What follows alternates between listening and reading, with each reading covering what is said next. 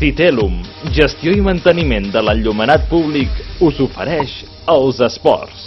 Joaquim Porito Rodríguez ha estat el guanyador de la norantena edició de la Volta Ciclista a Catalunya que aquest cap de setmana ha sortit des de Sant Cuat. Ho ha fet en concret des del centre del rendiment, molt a prop d'on estarà ubicat l'Esport Park Internacional de Catalunya. El centre del rendiment ha estat per segon any consecutiu el punt de sortida de la darrera etapa de la Volta Ciclista de Catalunya, una prova que ha acabat amb victòria catalana després de 27 anys.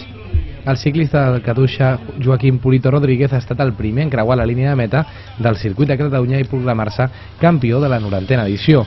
La Volta Ciclista ha plegat a tots els ciclistes minuts abans del començament de la prova a la recepció del car. Un per un anaven passant pel control de signatures i es preparaven per tancar la darrera etapa d'una volta que ha estat dura.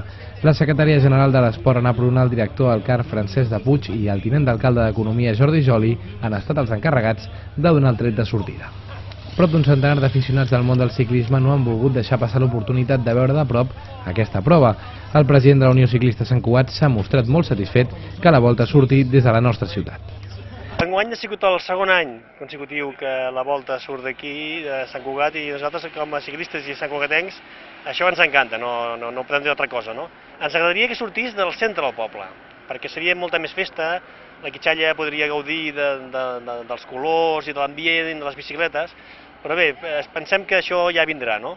Amb la satisfacció i amb el desig que el centre de Sant Cuat sigui un dia seu d'aquesta prova, es tancava la norantena edició que ha tingut un color català al podi.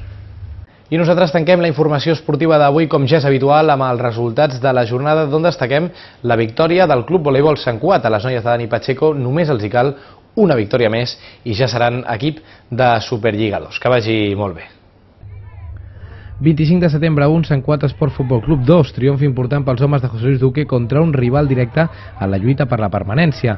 Els Sant Cuatencs que van jugar amb un home menys durant 80 minuts han fet un pas endavant en el manteniment de la categoria. La setmana vinent, els vermells negres rebran el setè classificat, que és el Palets. Júnior 4, Alcalà 0, golejada moralitzant. Les noies d'Adrián Loc tornen a guanyar després de perdre la final de la Copa de la Reina i recuperen la moral en Lliga abans de les vacances. Tímidament, el joc de les blau i negres ha millorat i amb aquesta victòria consoliden la quarta posició de la taula. El proper rival del Júnior serà el Club Deportiu Terrassa després de les vacances de Setmana Santa. Lliça damunt 1, Júnior 1, taules per l'equip de Javi Pérez en un partit complicat. Els sancoatencs que han encaixat el gol del darrer minut de partit han ofert un bon joc i han demostrat que poden recuperar la bona sintonia. La propera jornada descansen per Setmana Santa i tornaran a la feina d'aquí a 15 dies. Lugo 1, Club Voleibol Sant Cugat 3, important victòria per les noies de Dani Pacheco en la visita a Galícia. Amb aquest triomf només es queda a una victòria de l'ascens a Superliga 2 i ho podria fer realitat d'aquí a 15 dies davant l'extremadura Arroyo de Cáceres. Olímpic Floresta 3, Balaguer 5. Derrota inesperada pels florestans a la 22a jornada de Nacional B. Els blanquiblaus han encaixat 3 gols durant els primers minuts de partit i els han condemnat en el maig. La setmana vinent descansen i retornen a la competició d'aquí a 15 dies a Pallejar. Axa Sant Cuat 7, Sicoris Lleida 10. Perden davant els tercers. Els homes de Javi Martínez trenquen una ratxa d'imbatibilitat i no han pogut davant el Lleida en un maig on els santcuatencs han tingut ratxes de bon joc i que no han estat suficients.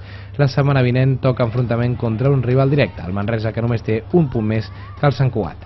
West 70, Catòlic 64 i ja en van 4. Els homes de Marc Guillem sumen la quarta victòria consecutiva i es consoliden a la part alta de classificació després d'un molt bon partit. Els vermell i negres tornaran a jugar a casa el proper partit que es disputarà el 10 d'abril contra el Sants, que ocupa la sisena posició. Girona 2, Patiu i Sant Cuat 5. Important victòria pels homes de Jordi Raga aquesta jornada, ja que han fet un pas més en la salvació. Amb aquest resultat, els sancuarencs estan demostrant que la millora del rendiment és una realitat i han de seguir per aquest camí la propera jornada davant el Vic. I finalment, amb vol Sant Cuat, la Salle Bonanova ha quedat suspès. El partit no es va poder disputar, ja que una de les porteries del pavelló 3 de la zona esportiva municipal de la Rambla del Saller es movia en un dels seus escaires. Ara els dos equips hauran de posar d'acord per fixar una data i disputar aquest match.